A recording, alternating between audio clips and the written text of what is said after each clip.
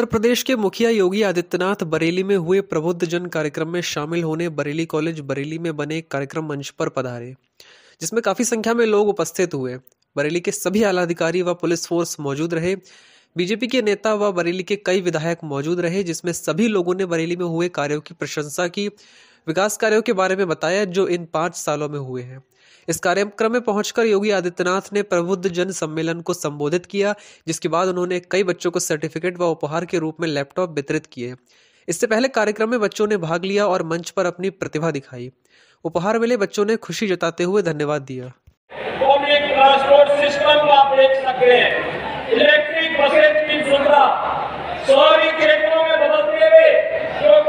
में एक और किसान सरकार का पूरा ध्यान है। तो दूसरी ओर सरकार ने अपने कार्यक्रमों को आगे बढ़ाया है।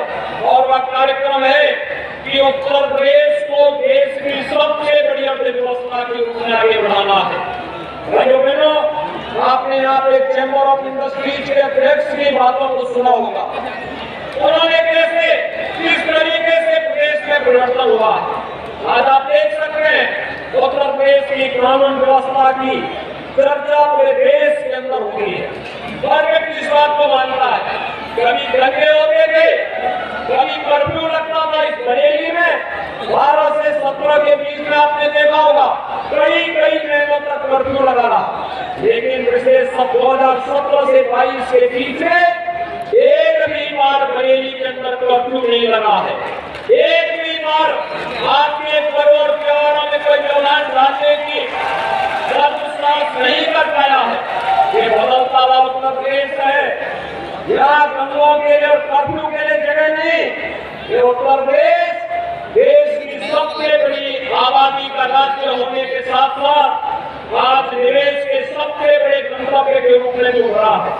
और निवेश के सबसे बड़े गंतव्य के रूप में उभरने के साथ ही देश की सबसे बड़ी अर्थव्यवस्था में बदलने के लिए हम लोगों ने प्रदेश में एक बड़े इवेंट को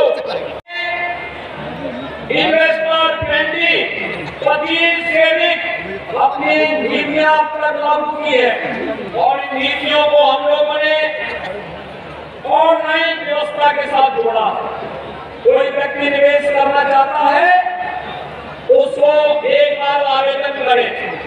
मुख्यमंत्री कार्यालय स्वयं उनकी समीक्षा करता है और समयबद्ध तरीके से उन्हें नौकरी उपलब्ध करवाने के साथ ही जहाँ उसकी एमओयू होने के बाद भी मॉनिटरिंग होती है। तो जैसे ही निवेश प्रारंभ होता है उसके साथ ही उसकी समीक्षा होनी प्रारंभ होती है और निवेश पूरा होने के बाद सरकार से मिलने वाले इंसेंटिव भी ऑनलाइन उस निवेशक के खाते में जाता हुआ दिखाई देता है। ये पूरी प्रक्रिया पूरी पारदर्शी तरीके से आगे बढ़ाने का कार्य किया गया है।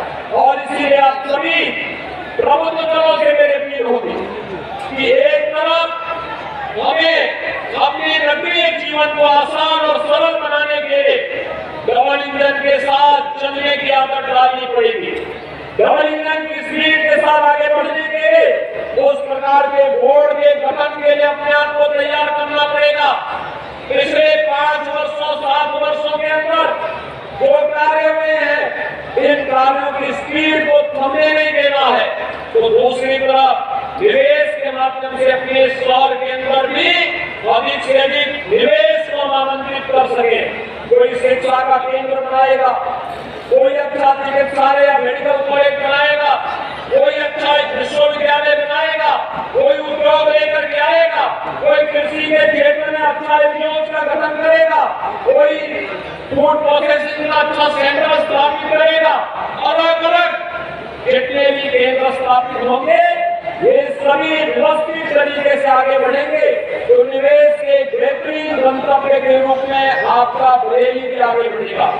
आज भाइयों बहनों बरेली की कनेक्टिविटी बेहतर हुई सड़क और ट्रेन की कनेक्टिविटी के साथ ही वायु कनेक्टिविटी के साथ आपका बरेली जुड़ा है। और आने वाले समय में बरेली के अंदर इस कनेक्टिविटी को और बेहतर करने की दिशा में सरकार कार्य कर रही है।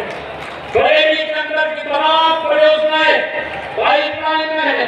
जिन्हें बहुत शीघ्र सरकार उन्हें लागू करने के लिए पूरी ईमानदारी और प्रतिबद्धता के साथ कार्य कर रही है। और इस अवसर पर मेरी आप सबसे अपील होगी, आप सभी इन योजनाओं के साथ जुड़ करके बरेली को, पर्यटन के बरे- बरेली को निवेश के, बरेली को रोज़गार के, बरेली को शिक्षा और स्वास्थ्य के एक बेहतरीन केंद्र के रूप में विकसित करेंगे इस विश्वास के साथ नाथ नगरी से जुड़े हुए आप सभी प्रबुद्ध जनों का बरेली वासियों का मैं बार फिर से अभिनंदन करते हुए चौदह सौ करोड़ रुपए से अधिक की परियोजनाओं के आप सबको मैं एक बार फिर से बधाई देते हुए विश्वास व्यक्त करता हूँ कि हमारे माननीय जनप्रतिनिधियों के साथ मिल करके आप बरेली को विकास और निवेश के बेहतरीन गंतव्य के रूप में आगे बढ़ाने का कार्य करेंगे।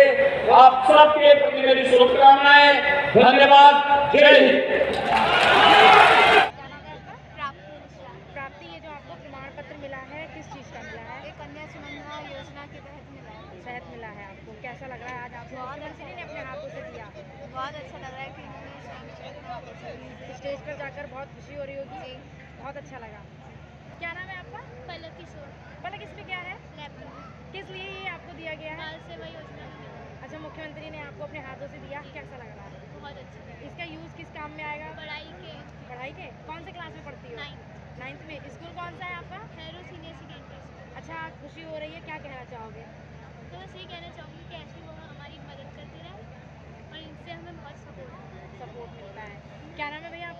हम? कहाँ पढ़ते हैं आप? कौन सा क्लास है? आज आपको मुख्यमंत्री ने अपने हाथों से ये जो लैपटॉप दिया है कैसा लग? रहा है मुझे भी अच्छा लगा। क्या कहना चाहेंगे आप? इससे मेरे को पढ़ाई में बहुत सहायता मिलेगी।